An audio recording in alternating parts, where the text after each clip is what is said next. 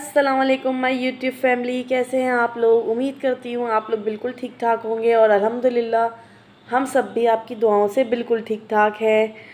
और अगर आप नए हैं तो आपने अब तक मेरा चैनल सब्सक्राइब नहीं किया है तो please do like, share with your family and friends. और मेरे चैनल का नाम है सिंपली अस इंटरटेनमेंट सुबह का वक्त है और यहाँ नाश्ता बन रहा है। और शुक्र अल्हम्दुलिल्लाह, अब कराची में गैस आ गई है।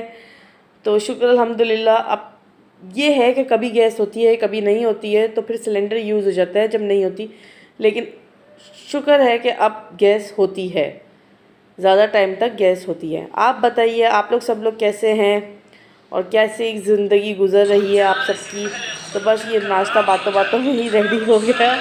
और हम सबने मिलकर नाश्ता किया है। और अब्दुल्लाहद का आज स्कूल है तो अब्दुल्लाहद जो है वो स्कूल में ही है। और जो है हम सब मिलकर नाश्ता कर रहे हैं।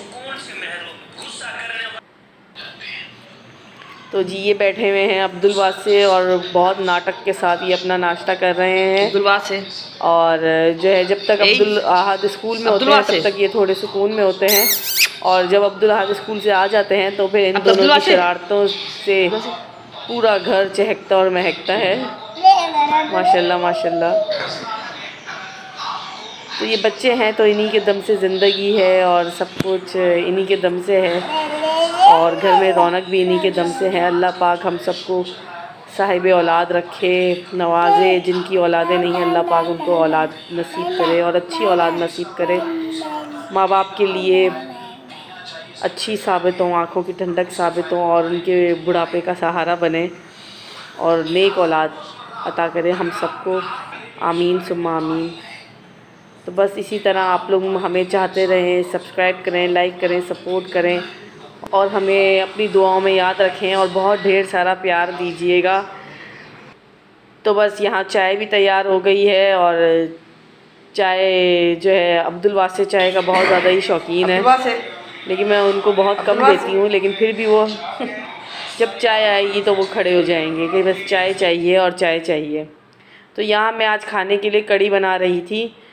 रोज़ का काम है सोचना पहले सोचना फिर बनाना पहले सोचते रहें फिर बनाएँ। कि आज क्या बनना है ऐसा ऐसा क्या बनाए जो बच्चे भी आराम से खा लें। तो यहाँ पहले मैंने जो दही मंगाया उस वो थोड़ा पतला था फिर मुझे दोबारा से दही मंगवाना पड़ा। तो यहाँ मैंने लिया है तकरीबन एक पाव दही और उसके अंदर मैंने ये देख लें, एक बड़ा चमचा जो है वो बेसन का लिया है। अब मैं इसके अंदर पिसी लाल मिर्च ऐड करूँगी और हल्दी थोड़ी सी ज़्यादा रखूँगी और नमक और कुटी लाल मिर्च। ये मैं डालकर इनको फेंट लूँगी। फेंटने के बाद अच्छे से फेंटूँगी और फेंटने के बाद मैं इसके अंदर ज़ीरा डालकर पानी ऐड कर दूँगी और जो है थोड़े से कड़ी पत्ते भी ऐड कर दूँगी।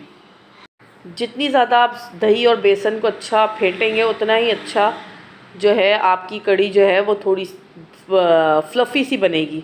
तो इसलिए मैं बहुत ज़्यादा फेंटती हूँ, ताकि जो है कड़ी जो है वो बहुत ही ज़्यादा अच्छी सी बने। तो बस यहाँ मैंने इसमें पानी डालकर, ज़ीरा डालकर और करी पत्ते भी मैंने ऐड किए थे, शायद मैं उसका क्लिप लेना भूल गई। तो और हसबे ज़ायका नमक, ये डालकर मैंने चढ़ा दिया और बस कड़ी को पकने के लिए छोड़ दिया। एक जोश तक मैंने जो है कड़ी को चमचा चलाती रही और फिर हल्की आँच पे पकने के लिए छोड़ दिया। यहीं दूसरी तरफ़ मैंने पकौड़ों की तैयारी कर ली। इसमें मैंने लिया है बेसन, कुटी लाल मिर्च कुछ पिसी लाल मिर्च थोड़ी सी हल्दी और जो है बहुत सारा हरा धनिया और बारीक कटी हुई हरी मिर्च, लेकिन थो, बिल्कुल एक मैंने ली होगी क्योंकि मेरे बच्चे हैं, वो नहीं खाते मिर्चें। तो इस वजह से मैंने एक ही डाली थी और बहुत सारा हरा धनिया डालकर मैंने इसका एक गाढ़ा और मीठी सोडा। ये याद रखिएगा कि मीठी सोडा भी मैंने ऐड की थी और बस ये डालकर मैंने इसको अच्छे से, मैंने जो है इसका एक डो बना लिया। मैंने प्याज इस वजह से नहीं डाली क्योंकि मेरे बच्चे जो हैं वो पकोड़े जो हैं वो प्याज के बिना ही खाते हैं। चाहे वो कड़ी में हो, चाहे वो रूखे हों, वो उसमें से प्याज निकाल निकाल के फेंकते हैं। तो इसलिए हम सबको जो है वो जो बच्चों को पसंद है वैसे ही बनाना पड़ता है।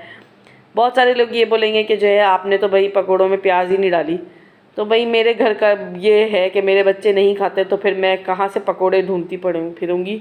इसलिए मैं सबके लिए फिर ऐसी ही कड़ी पकोड़े बना देती हूँ कि जो बच्चों को पसंद हो। तो बस, और अलग से जो है मैंने हमारे लिए जो पकोड़े तैयार किए थे, उसमें मैंने प्याज ऐड कर ली थी। इनमें मैंने जो कड़ी के अंदर मैंने पकौड़े डाले थे, उनमें मैंने प्याज ऐड नहीं की थी। तो बस फिर मैंने इसको अच्छे से घोल लिया, और घुलने के बाद फिर मैंने इसको रख दिया था। थोड़ा मैंने रेस्ट दिया। रेस्ट देने से ये होता है कि जो है, मीठी सोडा जो है, वो अपना काम करना शुरू कर देती है, क्योंकि उसको रखना पड़ता है। अगर हम रखेंगे नहीं तो फिर मीठी सोडा जो है, वो एक्टिवेट नहीं होगी। इसलिए हमें थोड़ी देर रखना पड़ता है, जब तक मीठी सोडा अपना काम दिखाए। उसके बाद जो है, यहाँ बच्चों ने खेलना कूदना शुरू कर दिया था। तो आज मैं आपको इनकी थोड़ी सी मस्तियाँ दिखाती हूँ कि ये लोग पूरा दिन क्या करते हैं।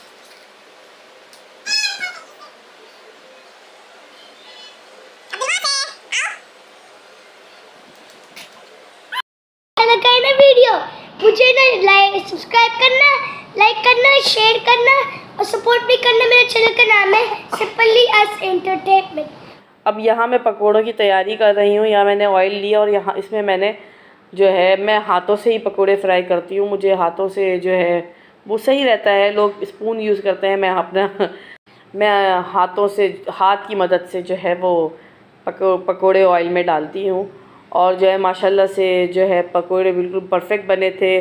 अंदर से फॉमी और ऊपर से क्रिस्पी। तो बस मैंने जल्दी इनको फ्राई किया और फिर मैंने इनको जो है वो डायरेक्टली कड़ी में, तैयार की हुई कड़ी में डालना शुरू कर दिया। तो आप लोगों ने देखा कि जो लड़कियाँ होती हैं, वो जो हैं, वो घर में गुड्डा गुड्डी का खेल खेलती हैं और जो लड़के होते हैं, वो तो बस इधर कूद, उधर कूद, यही हरकतें इनकी चल रही होती हैं। तो बस अल्हम्दुलिल्लाह, हमारी कड़ी तैयार हो गई और ये आया इसका ऊपर मज़ेदार किस्म का तड़का।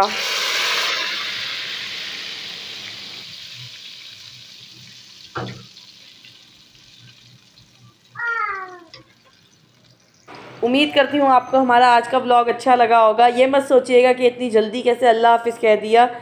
ये तो अभी शुरुआत है, शाम को हम गए थे बंसर रोड तो वहाँ की क्लिप आप ज़रूर देखिएगा। हमारा चैनल को सब्सक्राइब कीजिए लाइक कीजिए, ताकि आने वाली वीडियोज़ आपको सबसे पहले देखने को मिले।